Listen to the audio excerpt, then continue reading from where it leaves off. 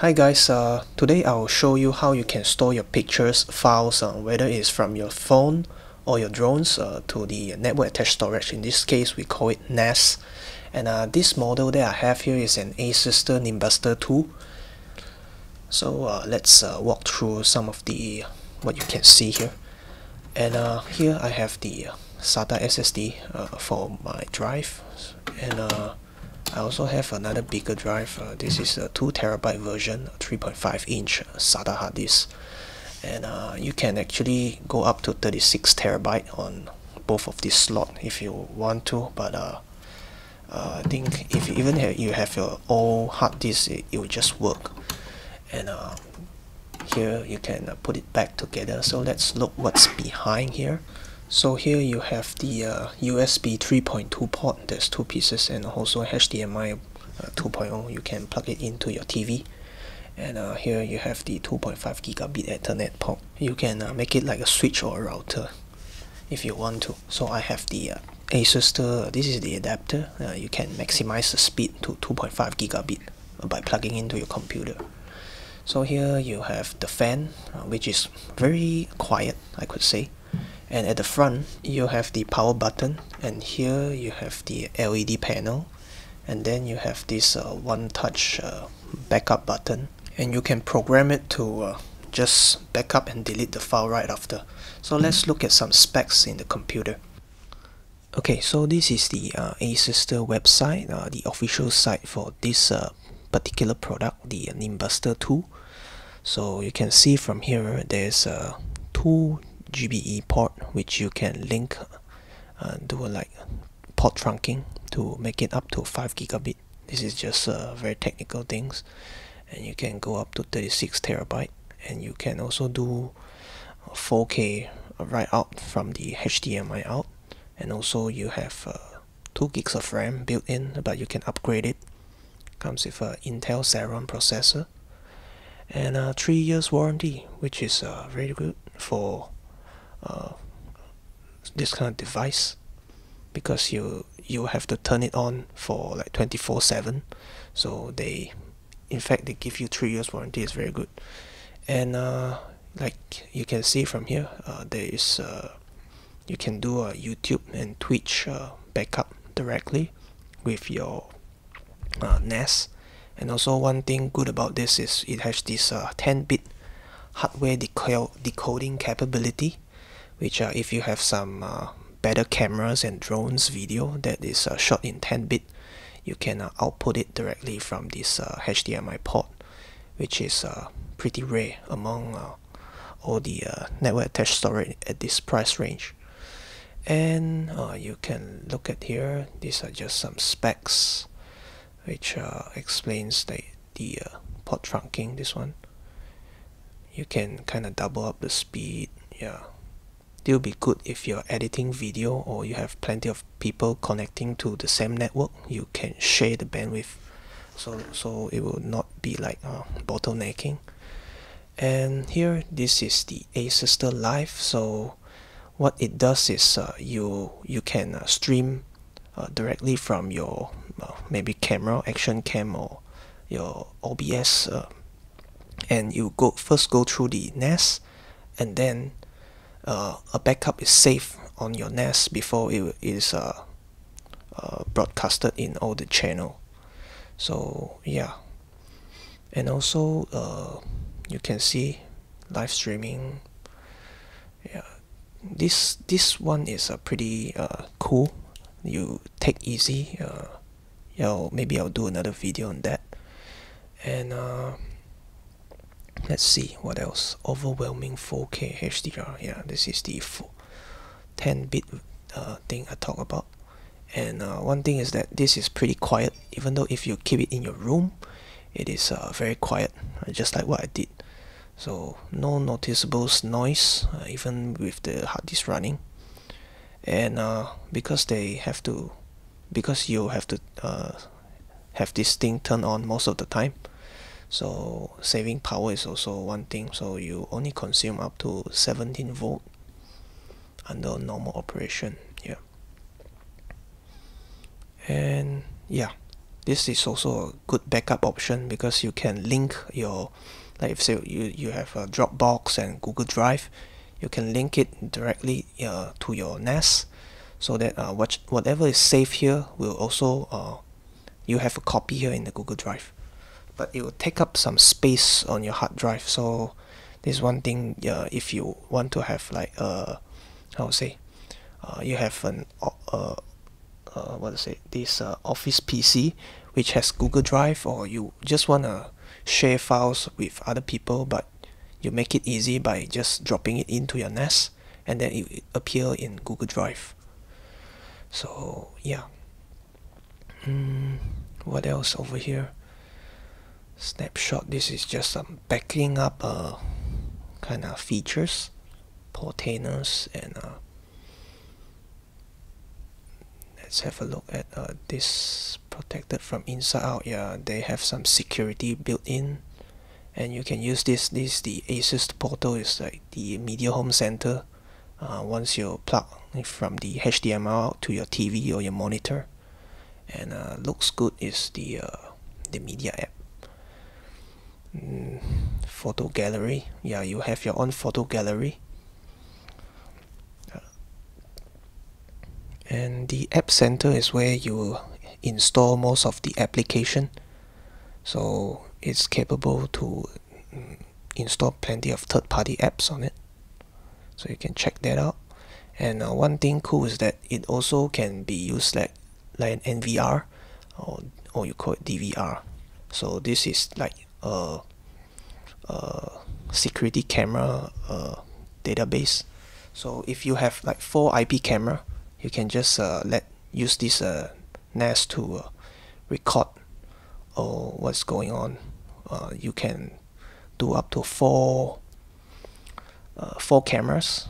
And then if you want to add more cameras you you need to buy the license. So you can go up to 36 but uh, do note that if you uh, use this, uh, camera feature it will take up some CPU space so it will slow down your system. But uh, it's uh, minimum I suppose unless you are recording plenty of stuff plenty of camera. But 4 camera should be good enough to handle. And oh, one thing here the mobile apps is where you install this in your phone. And uh, yeah you can try it out. And also if you uh, just want to test out what's inside you can go to this website the live demo. You can click on this and you can have a look at what's uh, how it is like uh, having this thing even though you're not connect you're not having it physically there. But they let you access uh, the uh, database uh, the NAS that they have put as a demo. So pretty cool okay so let's uh, move on. So if you're wondering what is a NAS you can find out here. So I'll not talk more about this and um, what's in the package. You have the NAS itself power adapter some cables and that's all. You actually don't really need a lot of screws because you can uh, just uh, install your hard disk without screw. But only for the small drive you might need to have a couple of screw to tighten it up. So if you're using your NAS for uh, like TV you can buy a controller. But what I'll do is maybe upgrade the RAM and also just up uh, have this uh, 2.5 gigabit Ethernet adapter I shown you uh, to uh, kind of increase the speed if you're connecting it uh, by uh, LAN cable. And another thing is you can download all the uh, uh, apps that is required uh, during the first setup. So yeah you can do this. And uh, okay from here for photogra photographers like us uh, uh, if you like to what you normally do is traditionally you store it in your external drive or even in your computer. But uh, with this uh, NAS you can put everything directly to the uh, drive. So I'll show you how to do that later on. And uh, just makes things very easy. Yeah without having to uh, plug in the cables and this and that. You can just do it transfer it over the phone through Wi-Fi.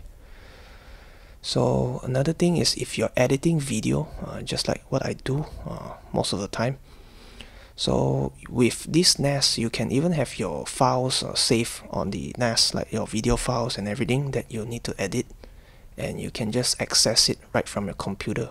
So it'll be helpful if you have plenty of stuff stored there but you have a very limited storage uh, a computer just like what I do. I have a Mac MacBook just uh, 250 gigs of RAM uh, sorry 250 gigs of uh, capacity and uh, I wouldn't have uh, sufficient uh, capacity if I would like to uh, keep on putting stuff here to edit. So it would be good to have a separate drive which is what I'm using the NAS to do. So actually if you're just a light user like me uh, 2.5 gigabits is uh, more than enough. So unless you are having like, a team of people to do it you need like 10 gigs of speed. But 2.5 is good enough for most of us who are just doing YouTube. So what's next is uh, if you have Apple so what you can do with this is uh, it can do uh, time machine backup. So you can uh, backup your Mac directly. So pretty handy. So another thing to note is uh, this company is actually their parent company. So the they make plenty of uh, computer stuff that you must have already heard of. And uh, this is their siblings company the Asustor which is why their name sounds pretty similar. Okay so I'll bring you to uh, the page where we set up the whole thing uh, through the computer. So for the first time when you're setting this uh, NAS up you need to download the uh, software on your computer or even you can do it on your phone but um, this case I'm using the Mac so I need to download the Asustor Control Center here. So this is the app. So you can click on here the status to initialize it.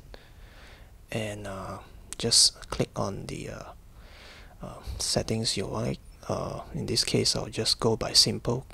Uh, here you need to key in your username so that you use this to log into your NAS every time and uh, you can also change the name of the server so that uh, you'll be easy to identify.